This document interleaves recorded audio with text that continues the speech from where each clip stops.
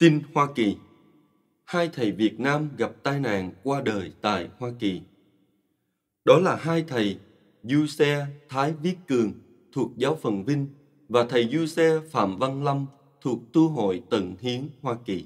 Đêm ngày 31 tháng 12 năm 2018 trước thềm năm mới, vào lúc 20 giờ giờ Hoa Kỳ, hai thầy đang trên đường đến gặp mặt đón năm mới cùng những người bạn khác thì bị tai nạn xe hơi và đã không qua khỏi.